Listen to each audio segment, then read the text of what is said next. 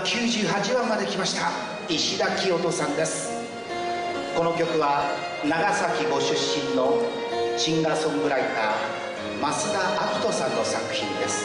後に神谷翔さんがカバーをして現在は島津亜矢さんが歌っております。母を思う切ない男心歌います。石田清人さん母ちゃん。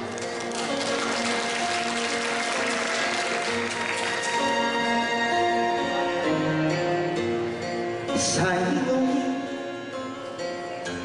母ちゃんと話をしたのは木枯らしい吹き荒れる2月半ばの寒い夜小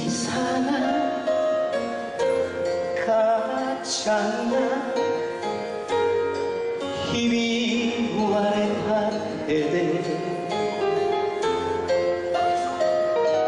背中丸め寒い中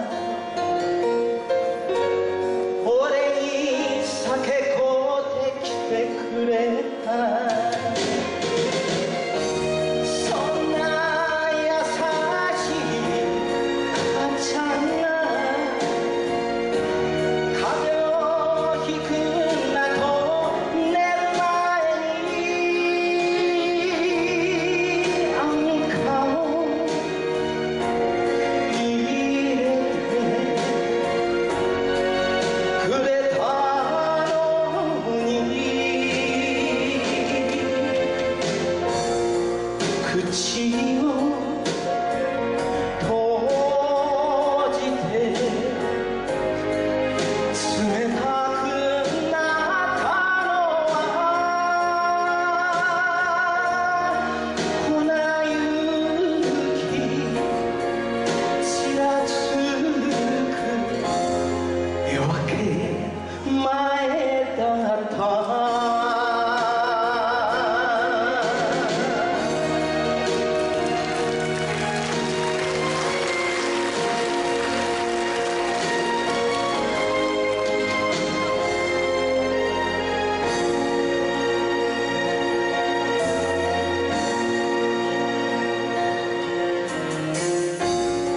いつも母ちゃんは素顔のままだ。